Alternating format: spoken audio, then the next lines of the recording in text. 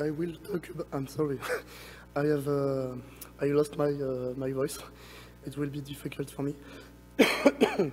so, I will talk about the Thales activities on uh, CVA6 in 2021.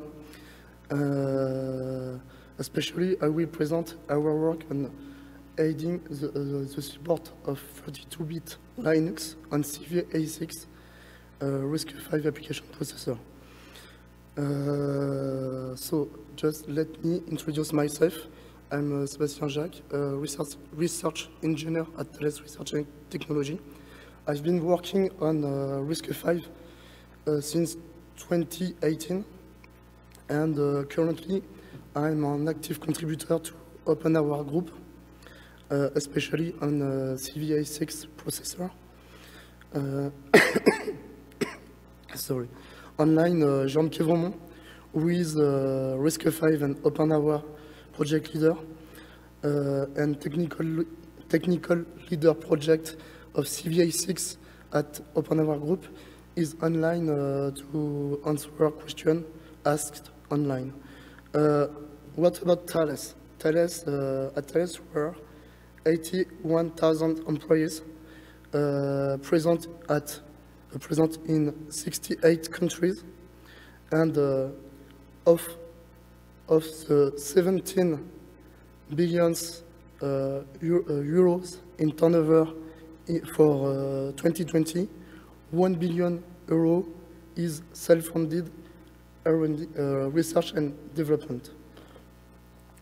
Uh, our job in Thales is to address demanding markets which require significant uh, technological expertise, such as critical systems, um, security, defense, aeronautic, space, and ground transportation.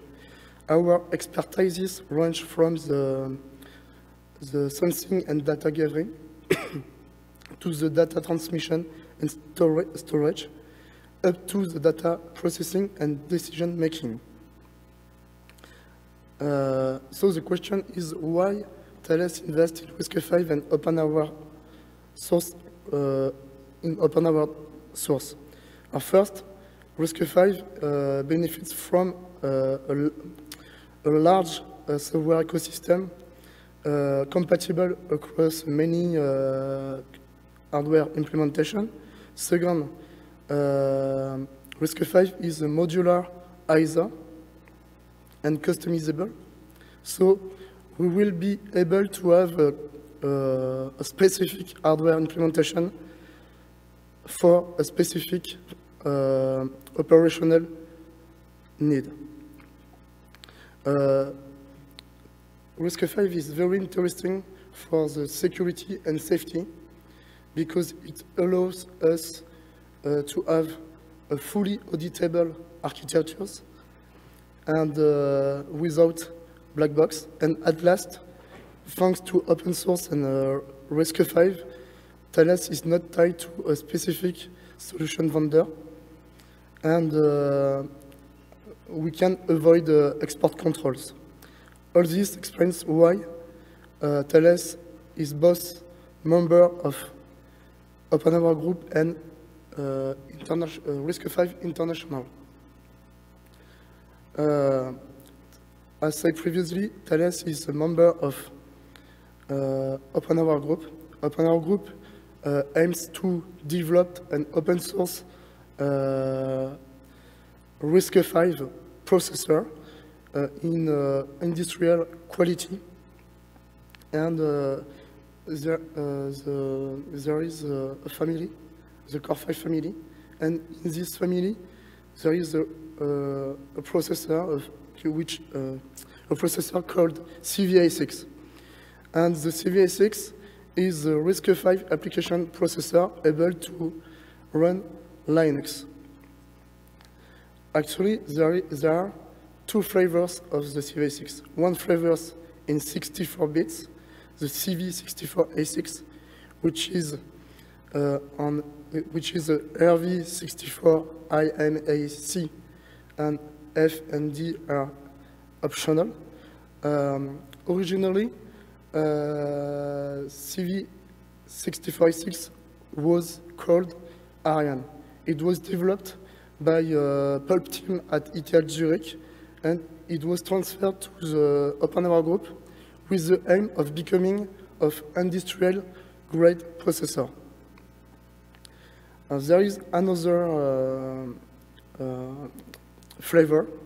Uh, this flavor is a 32 bit uh, flavor called CV32A6.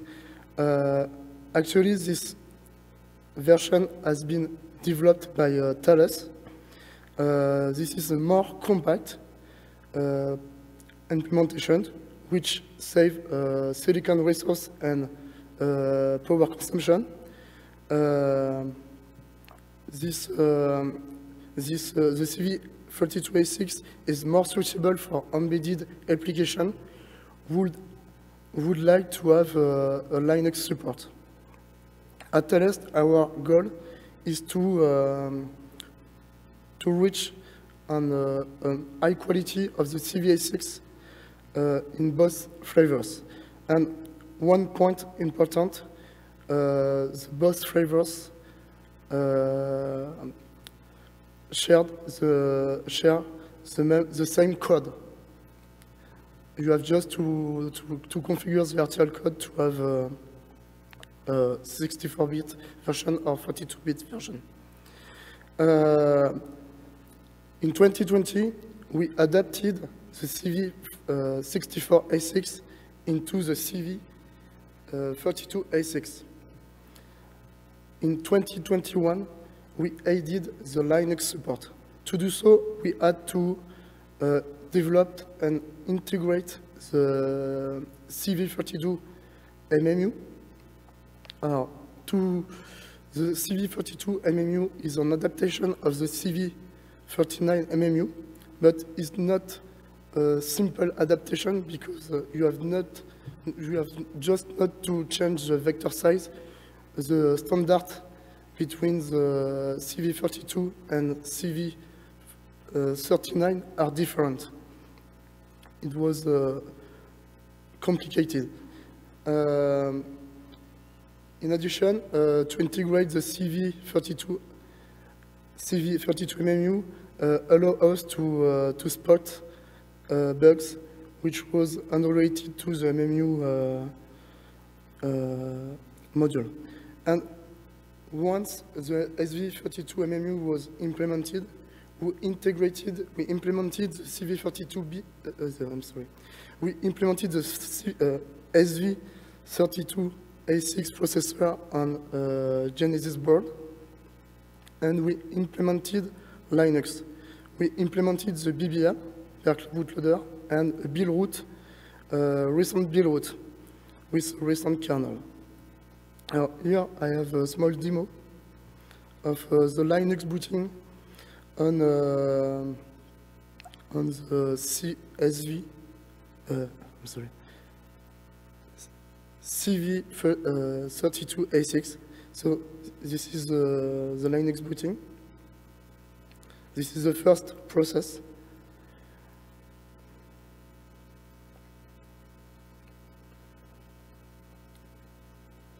It's quite long. Uh, now I have the console. Uh, I displayed the CPU info. Um, so what is interesting here, we can see the ISA RV32 IMI with the MMU SV32, and the architecture is uh, from Ariane. And I displayed the system information. This is the Buildroot. So this is the top command. It was just a test of the top uh, command. And uh, at last, I have um, we also um,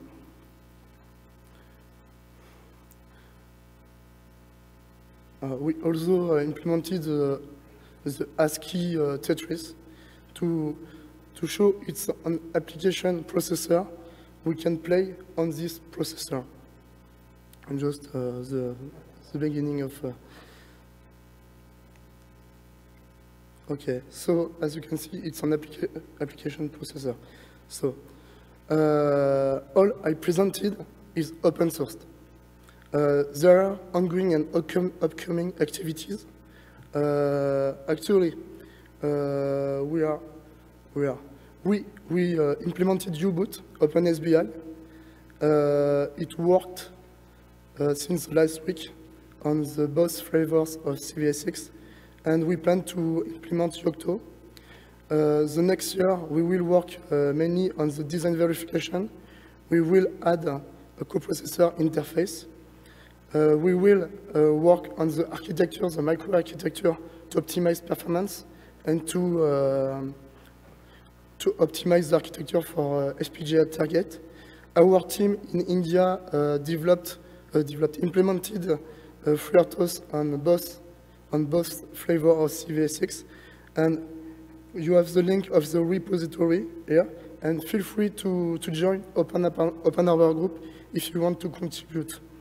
Uh, this slide is uh, just to, to thank, to thank uh, Fractal Project, which is uh, funded by Europe, and uh, this project finances uh, the, the porting of Linux and CV32A6. Thank you very much.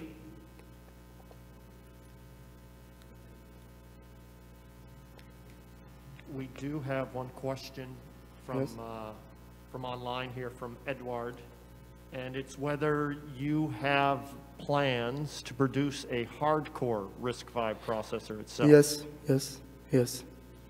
So, yeah, however much you can, you can say to that, okay. Um, Excellent, thank you. Let me check for some others.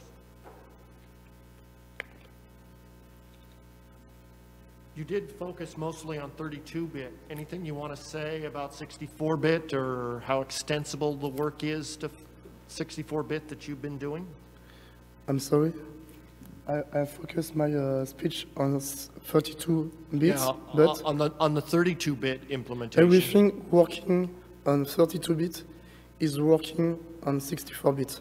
But uh, originally, the the CV64 bit, uh, the the ARIANE processor was a 64 bit processor.